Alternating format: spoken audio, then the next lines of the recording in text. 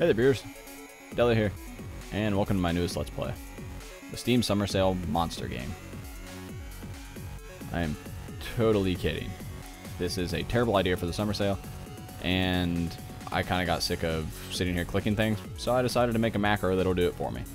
And I thought some of you guys might be interested in the same thing, so I'll show you how to do it. Alright, so this is really, really easy to do, and I'm going to show you exactly how easy. You need two things. First, you need a program called AutoHotkey. And second, you need a script that runs within AutoHotkey that tells your mouse what to do. So go to your web browser and type in AutoHotkey. And right at the very top, AutoHotkey.com. When you click the download button, it'll give you the exe to install AutoHotkey. So go ahead and do that. Already have mine installed, so I don't need to, obviously. After you have it installed, don't hit run because it doesn't have anything to run yet. It doesn't have a script. So, me, I'm not a scripter. I didn't know what the heck to do to get my mouse to go really fast. But, go figure, someone on the internet did. And that fella happened to be named Nimda from the AutoHotkey forums. And he posted a whole different slew of ways you can get this to work. I personally found the toggle option to be most appropriate for this, where you press the button, it goes for a while, and then you can press the button to stop it. So, all you do after you install AutoHotkey is right click on your desktop or wherever you want to put the script at, go to New, and then AutoHotkey script. And you're always going to have that prompt as long as you have AutoHotkey installed. First thing it wants you to do is name it. And I will name it Clicker without the capital L. When you double click on this, it literally does nothing.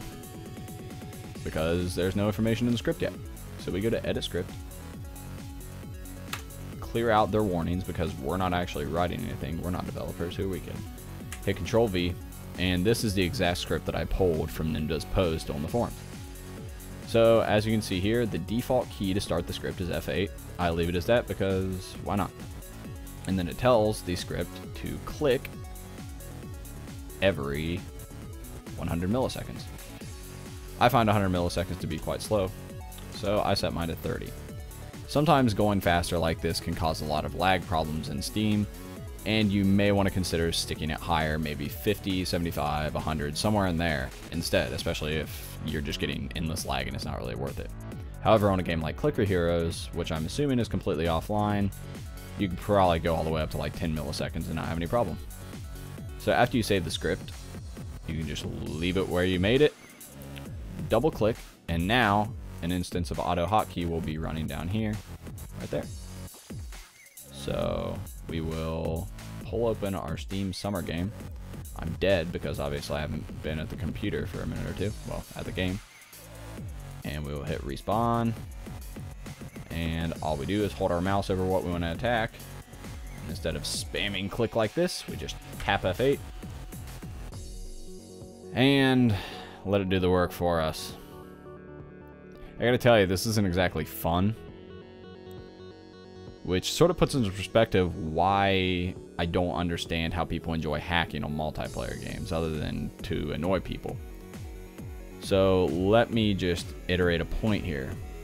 Don't use this in an environment where it's going to impact other people's gameplay negatively or positively. In this case, you could say that I'm impacting someone else's gameplay in a positive manner, but let's be serious.